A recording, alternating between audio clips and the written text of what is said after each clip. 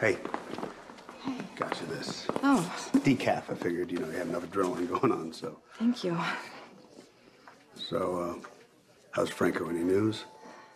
He keeps drifting in and out, but his doctors say he's gonna be fine. That's good. Hey, look, at least his name is going to be clear. Everybody's going to know that he's innocent. Not that you ever doubted. Yeah, but it is really nice to hear him say that he only confessed to the murders to help Jordan bring out the real killer. Yeah. I just wish he had trusted me with the truth. He trusts you. I'm sure Jordan just swore him to secrecy. Yeah, no, I'm, I'm sure you're right. Bottom line, the cops know it was Ryan Chamberlain and uh, not Franco. Yeah. Win-win, right? Yeah. Drew, What's wrong? Jocelyn called. Oscar had another seizure and they're rushing him to the hospital. I'll let the ER know. Not here. They're in Niagara Falls.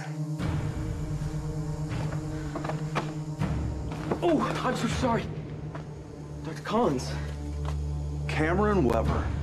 What are the odds? Yeah. Um, it, it's good to see you.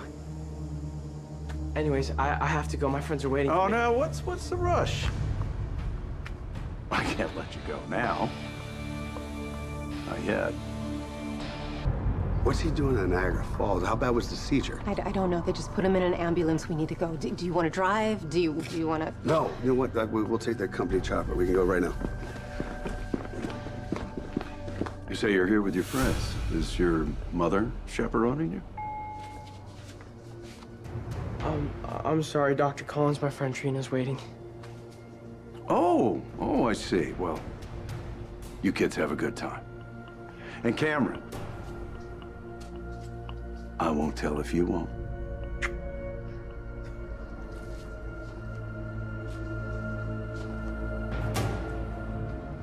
No. Excuse me, miss. We're looking for a patient that was recently brought in, an Oscar Nero. Are you family? He's Oscar's cousin. Ah. So is your mother one of his parents' sisters, or is your father one of his parents' brothers? Um, well, his father almost married my mother, so I guess that kind of. So, what? Look, I'm Oscar's girlfriend. I know that doesn't count as family. But Oscar needs me and I need to be with him. So can you please make an exception so I don't have to find a way to sneak in the room? You must be Jocelyn. You're exactly like he described you. He's awake. He regained consciousness a few minutes ago. He is groggy but lucid. Please, can I see him? Go ahead, he's room 21. Thank you. Cousin? Really? That's the best you can come up with? It would have worked if you played along. My mom almost married his dad. Really? Okay, sometimes telling the truth works out. Look at Joss. That nurse didn't let her in because Joss was honest. She. Never mind. Just let Joss see Oscar because he's in bad shape. Crap.